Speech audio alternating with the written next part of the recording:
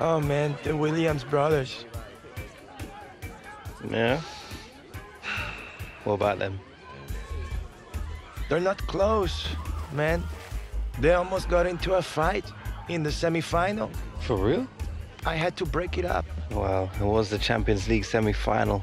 Things get heated, you know. True. True. So, bro, who are they? Who? The people in your house. Uh, that's the entourage, bro.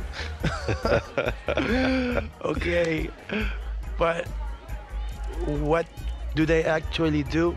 You know, like, like really?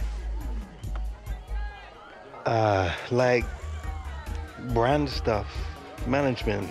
Uh, I mean, they all do. I don't know something. I'm sure. You have to ask B. You know how it is. I mean, for me, I have my father and then a couple important people, but that's it. No one else. No. This this life doesn't give me a lot of free time, so I want to spend it with the people that I really care about. Never really thought about it. It's just my opinion. Hmm. My car is here. I wish I could stay longer.